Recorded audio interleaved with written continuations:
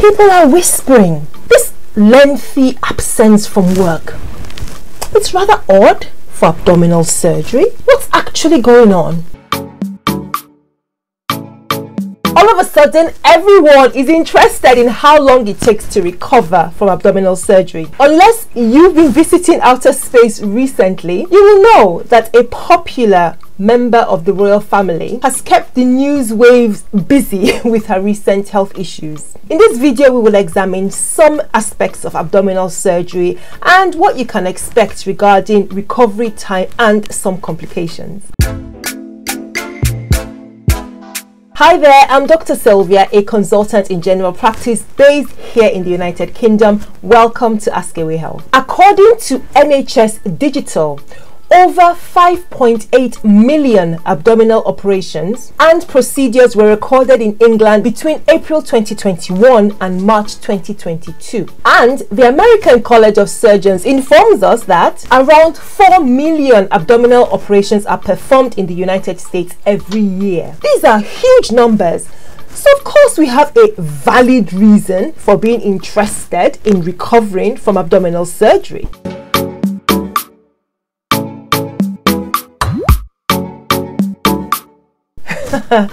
so, yes, Catherine, Princess of Wales and future Queen of England, aged 42 years and the mother of three young children, has been off work and off our screens for nearly two months by the time this video is published. And more specifically, this is since she had planned abdominal surgery around the 17th of January 2024 in a health facility here in the United Kingdom. There's really no news about Kate's medical background in the public domain, apart from the fact that we know she's had three children, and to all intents and purposes, she's appeared as a fit and healthy woman for her age. In my opinion, the princess has a right to keep her health information private. But as a public figure, there is debate over how much privacy she and indeed other members of the royal family are actually entitled to. But what is more relevant, I feel, is you and what to expect if you are about to have abdominal surgery or just wondering or curious about this topic.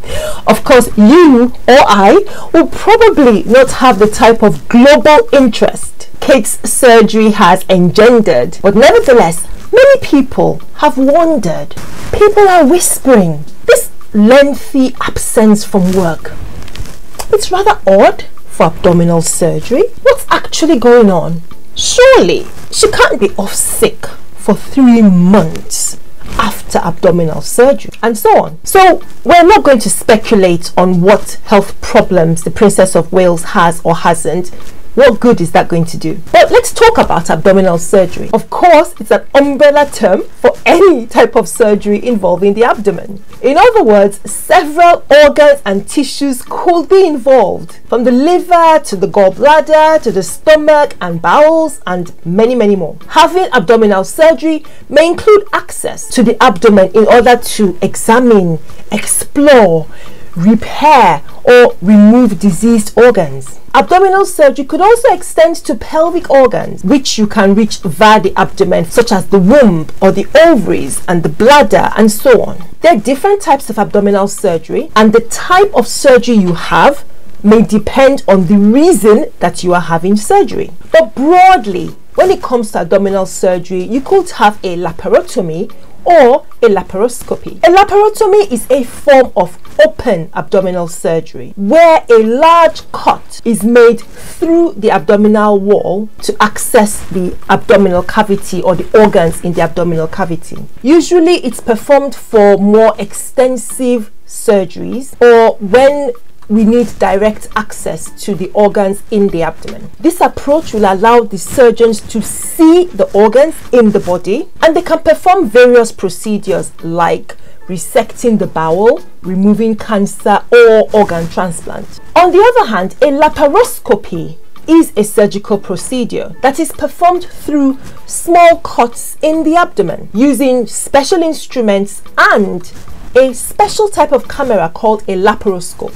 It's also known as minimally invasive or keyhole surgery. And so if you're having a laparoscopy, the laparoscope, which is the long thin tube with the high, resolu- uh, high resolution camera attached at the end is usually inserted into the abdominal cavity through a small cut around the belly button. And so the surgeons are able to see the abdominal organs but through a monitor in the operating room. They may need to make extra small cuts around the abdomen to and um, put in any more specialized instruments and perform the procedure. So you can already see there are clear differences between these two procedures even though both are abdominal surgeries. But I'm not going to bore you with all the details of the differences. Let's just dive into what we're interested in, which is recovery time after surgery. If compared to laparoscopic surgery, a laparotomy, that is when the abdominal wall itself is cut and opened, generally involves longer recovery time and may have a higher risk of complications. So, going back to all these questions that we're busy wondering about, after a planned abdominal surgery, so it's not an emergency where there was an urgent need to operate because you wanted to save life or you know whatever indication which carries its own risks. What is the usual recovery rate? Well if you guessed or if you think that that answer could depend on quite a few different things you're absolutely correct. It could depend on your age and level of fitness before surgery other factors are the condition or the reason for having the surgery in the first place. So think about emergency surgery, for example, a an inflamed appendix or a burst hernia versus planned surgery for a hysterectomy or gallbladder surgery. The possibility and the type of complications that could develop after surgery is another consideration that determines recovery period afterwards. And then Think about this. Treatment for that condition may not just be about surgery. The operation may just be one aspect of the treatment. You might need other treatments at the same time. For example, drug treatments, or perhaps they might need to be chemotherapy or radiotherapy and so on. All these could factor into an individual's recovery time. So we might be able to give estimates, but it's difficult to be specific because it depends on so many different factors. So what are the possible complications of the two types of surgery mentioned earlier? First, a laparotomy. There could be infection at the site of the cut. There's a possibility of developing what's called an incisional hernia. And this is developing a hernia around the part of the abdomen where they cut was made. There is the possibility of adhesions, those are internal scar tissues forming. You could develop a blocked or obstructed bowel. There could be excessive bleeding or damage to surrounding organs during the procedure. And what about laparoscopy? It also has its complications, even though it is minimally invasive surgery. One of them is something known as a pneumothorax. This is if the sheet of muscle that separates the chest cavity from the abdomen is accidentally punctured it can lead to breathing problems and can be potentially life threatening. There may be infection that develops around some of those little cuts that you perform during the laparoscopy. There might be bleeding from blood vessels if they are damaged during surgery while the surgeon is trying to introduce the instruments working with the monitor in the operating room. And of course, there could be injury to other organs or tissues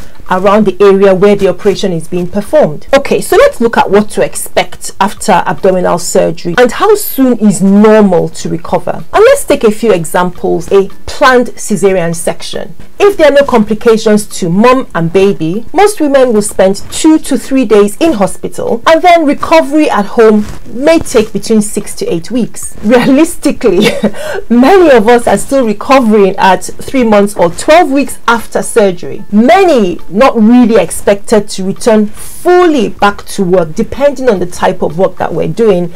And of course looking after the baby. But let's look at another example. For instance, a total abdominal hysterectomy. This is different from having a vaginal hysterectomy. With a total abdominal hysterectomy, there is a cut into the abdominal cavity through which the womb and other tissues are removed. After this surgery, most women can leave the hospital by the second, maybe the fourth day. Recovery again at home can take up to six weeks at the minimum for many women. It is by this time, around six weeks, that most women can resume usual activities, exercise, driving, having sex, even going back to work if they feel well enough to, depending on the kind of job that they have Sometimes there might be a phased return to work and other circumstances, but it depends on your pace of recovery. For some jobs that are not physically strenuous, a woman may be able to return to work maybe after four or five weeks from surgery. But in most busy jobs where you might be involved in presenting, meeting people, standing or being on your feet for a number of hours,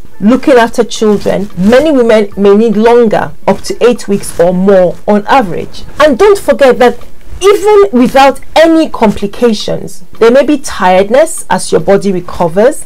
There may be pain around the operation site. There may be trouble with the bowels, just being a bit sluggish after surgery, and other issues that may affect the recovery process. My last example for this video is after having bowel resection surgery. This surgery just briefly involves removing part of the bowel and connecting the remaining ends together. It may be necessary for certain conditions, but commonly inflammatory bowel diseases such as ulcerative colitis or Crohn's disease or bowel cancer. People going through this surgery may need to have a stoma or pouch which performs part of the function of the bowel and this may be a temporary or permanent condition. Hospital stay for bowel resection surgery again varies but it could be over a week, up to 10 days after surgery. Recovery while still in hospital may be associated with bleeding problems, getting the bowels to function after surgery, and establishing a diet that is appropriate. After getting home,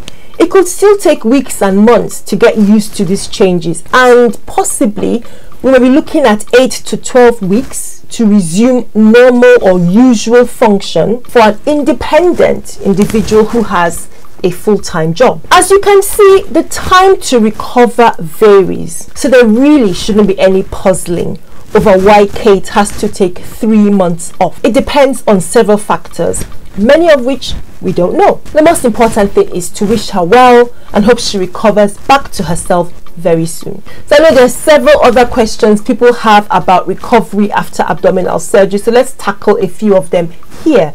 Number one, when can I play sport after open abdominal surgery? By four to six weeks after most abdominal surgery without any complications, you should be able to resume exercising. We encourage people to start moving around as soon as they feel well able to. And by four weeks, you should be doing small bursts of activity to pace yourself and help determine your fitness level. Number two, what kind of abdominal surgery takes 10 to 14 days to recover? Well, it varies and as we've seen depends on different factors the individual's fitness levels diagnosis and if there were any complications during surgery or after. Most laparoscopies take a few days to remain in hospital after the procedure and two to four weeks to recover at home. Some people might do so early others might do so a bit later. Most laparotomies may take a few days longer and usually six to eight weeks to recover at home. Three, what to do about abdominal pain after surgery. Initially, it is best if you have regular pain relief, which can vary from opiate drugs to non-opiate drugs and non-steroidal anti-inflammatory medicine. These are usually tailed off as your wound heals. But there are also non-drug options like heat therapy, positioning, moving around as soon as possible, relaxation techniques and some physical therapy to help with post-surgery pain. And next, how long does bloating stay after abdominal surgery? Well, bloating after abdominal surgery can be an issue. It may be due to handling of the bowels during the operation and it may be difficult to avoid it altogether. So after surgery, the bowels may slow down for some time. This can lead to trapped air or wind. You might feel pain or discomfort and bloated as a result. For most people, this may take two to three days before it generally begins to improve. Getting out of bed soon after your surgery, if you feel well enough, and moving around will help this recovery, as well as taking peppermint tea or peppermint water or mint. Once you start eating and drinking after surgery, your regular bowel activity should resume and so it should get easier with time. Specifically, if you've had abdominal surgery and it's the bowels in particular that have been operated on, for example, with a bowel resection, your team will advise you about specific changes to your bowel function and any diet that is appropriate for you during that initial period. Recovering from abdominal surgery has no fixed answer, it varies. Hopefully, after watching this video, you have some idea of what to expect, what you can do after surgery, and how soon you can do it. Let me know your thoughts in the comment section. In this next video here, I go into a bit more detail about recovering after a cesarean section, so please check it out if you're interested. Don't forget to give this video a like, subscribe to the channel, and I will see you again real soon.